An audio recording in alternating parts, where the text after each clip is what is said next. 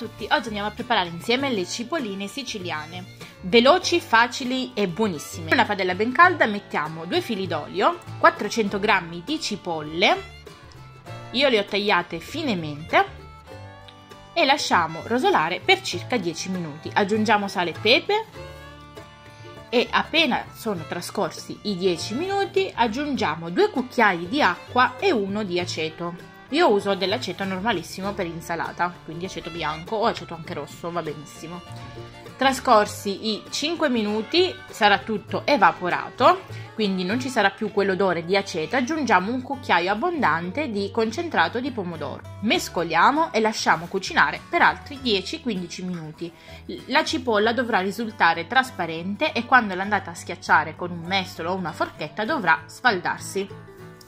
Dopodiché prendiamo una sfoglia già pronta, la dividiamo prima in tre parti verticali e dopodiché una bella linea track e facciamo sei parti, sei quadratini.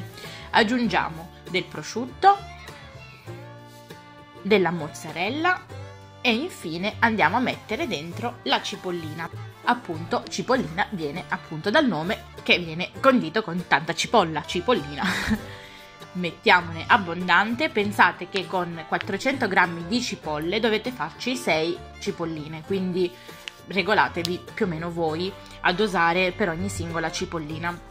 Dopodiché è semplicissimo, prendiamo tutte le estremità e le portiamo al centro come se stiamo facendo una busta di una mm, lettera e mettiamo uno stuzzicadenti al centro. Mi raccomando, prima di servirli toglietelo, però solo in cottura, cioè una volta usciti dal forno potete togliere lo stecchino così non cade chiudete tutti i buchini che rimangono e il gioco è fatto. Dovete soltanto spennellare con dell'uovo e infornare.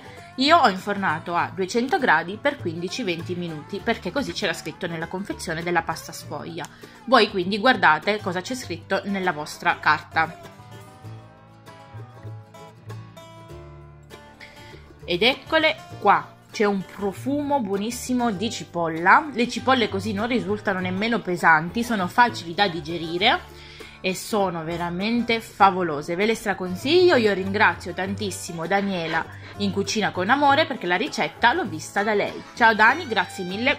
Già questa è la sesta volta che le faccio.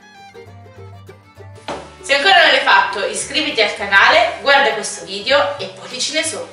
Ciao!